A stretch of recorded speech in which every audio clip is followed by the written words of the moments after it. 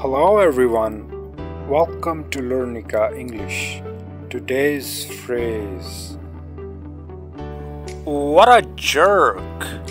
क्या मतलब हुआ जवाब है क्या घटिया आदमी है example Holy crap! Look at the way he's cutting in front. उफ तबा देखो तो सही किस तरह बीच में घुसेड़ रहा है Yeah, I know. What a jerk.